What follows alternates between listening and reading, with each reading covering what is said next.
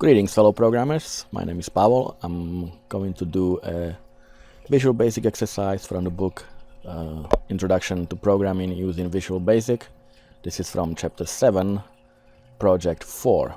And the assignment says to write a program that allows the user to display any on uh, any one oh, any one of the three tables as an option and to quit as a fourth option.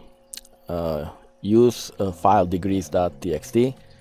All right, this is the this is the file. It has uh, only five lines, uh, three columns. The first line is the uh, I guess department, like the this is the year. The second, uh, the first number, the, the, middle column is the is a one year kind of results, and the second number is the second year results. Uh, it will be more clear when we finish the uh, assignment reading. So first table is ordered alphabetically by the field of study. So this is the first table. This is what they wanted to format it like. We have the field of study, that's business, computer and IT and so forth. And then we have years that uh, uh, are the number of degrees uh, given for that field of study. Uh, so in 1981 and 2010 so that's the first table we're supposed to do from the degrees.txt file.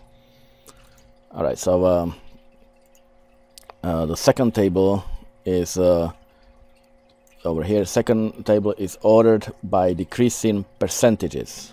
In other words there's a difference you know uh, if you look at the first one the difference between those two years in uh, in the degrees or in the signups uh, and we'll go descending. Like what's the biggest difference? So like for example the computer and IT increased by 161 percent uh, from uh, one uh, uh, the 1981 or between 1981 and 2010 while for example uh, engineering only increased uh, by 14 percent and the last table is uh, ordered by increasing number of degrees.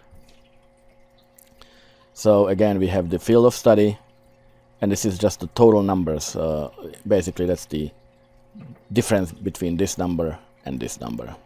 However they want us to show uh, some dots as a graphical kind of uh, show or display. Uh, it says each dot represents value of 10,000 um, of degrees. Uh, for example, 39,589 would equal 40,000 or 4 dots. 72,000 would equal 7 dots and so forth. And on the first, uh, I mean the second table, they also give us the formula that calculates the percentage change, which is right here. Alright, so the form is uh, uh, looking like this. I have three buttons. Uh, one will one for each of the tables or the displays and quit button and a grid view. So in, in which we will be displaying the um, the results or the output.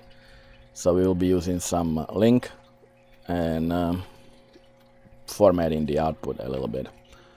So again the text file has just the field of study 1981 um, degrees earned and 2010 degrees earned so uh, let's get started. So since we are working with a file, the uh, the first thing I need to do, I need to declare. Uh, I already made a comments here for, for each of the uh, tables, so we can see so uh, which click uh, is going to do what. so this is click table one will of course create table one. Click table three will create table three. All right. So the first thing we need to get the file to read. I place the file into my debug folder. Uh, it's called degrees.txt. So uh, we'll do dim input. It's gonna be an array, a string, so uh, array of strings, and it equals io.file dot read all lines. And we are reading it from the degrees.txt. Since I have it in debug uh, folder directly, I don't need any path. This is already having access to it directly. So this is our global uh, input uh, string array. Um, I'm doing it global because I'll be obviously using it for throughout the whole form for each of the button clicks. So let's create the first table, which is formatted uh, simply field of study, then 1981 degrees earned and 2010 degrees earned. So um, in order to do that, uh, so this is the table one click right here. So I'm going to create a basic query. Uh, dim query equals, and where we are, uh, we will declare a variable. I'll just call it from record. And uh, where is this record coming from? Well, it's coming from in input. That's the that's where all the file is being read into. So we will basically loop through it or query through it and output all the uh, all the information from it. So uh, I'm going to declare a few uh, fields within it. So I will do let field uh, let field as string equal because we need to remember this is a comma separated uh, file. We have three records in each line so we have to get them uh, we have to know where one starts and the other ends. So we will simply do our record dot split and we are splitting by uh, the comma and it's a character so it's a C uh, so now we have um, the record split you know, each line one line at a time into three um, three values or three data so the first data is the uh, it's gonna be the field of study. The second will be the 1981 year, and uh, and the third one will be 2010 year.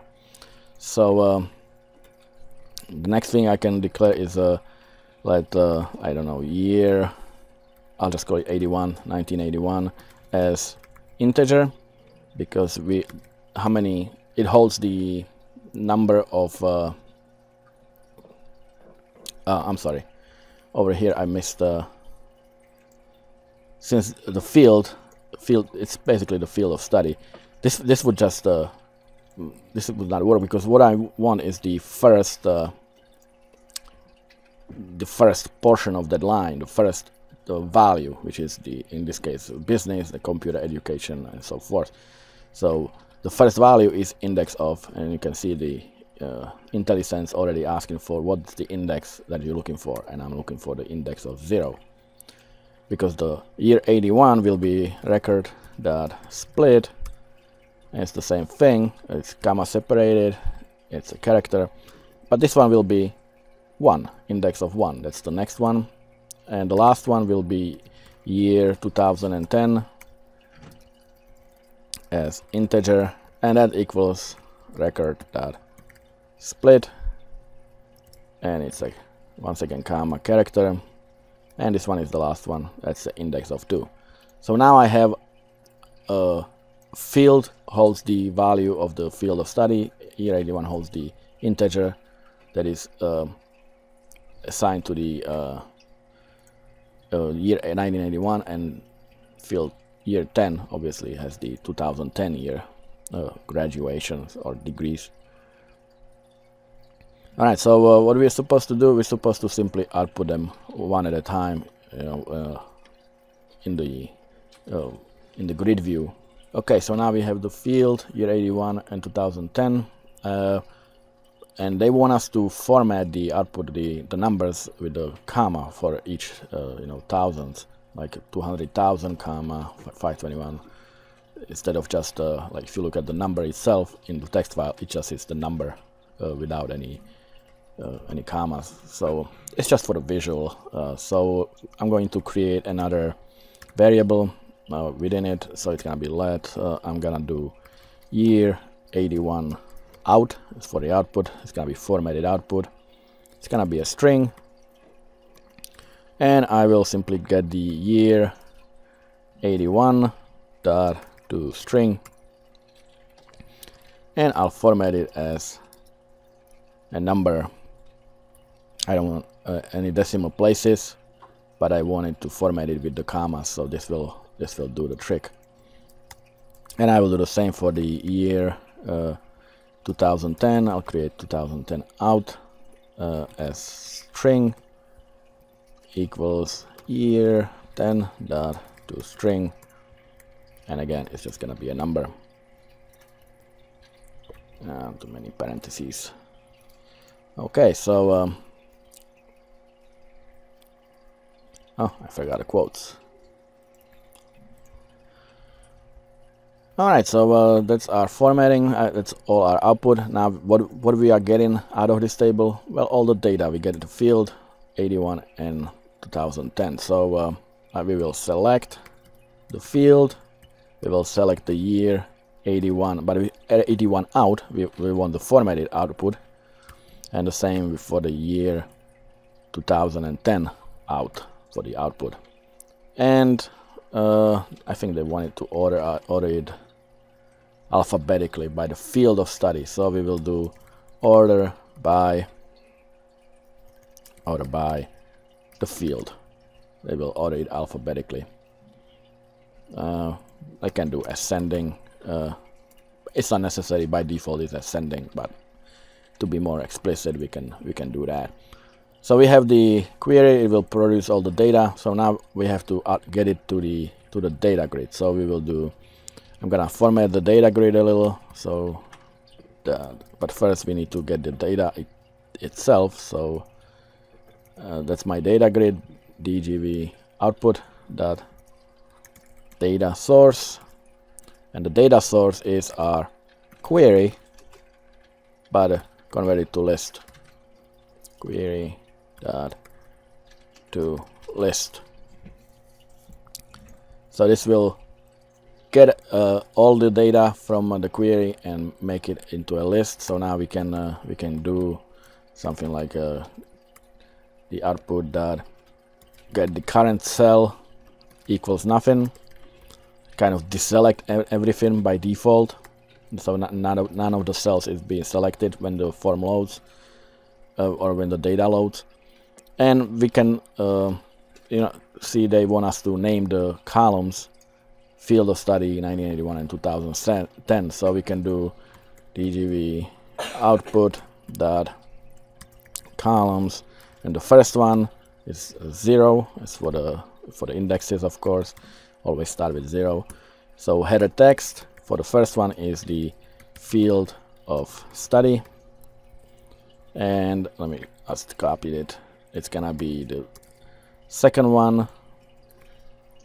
Uh, that's gonna be and then the set, set uh, third one. So the second one is 1981 uh, and the last one is 2010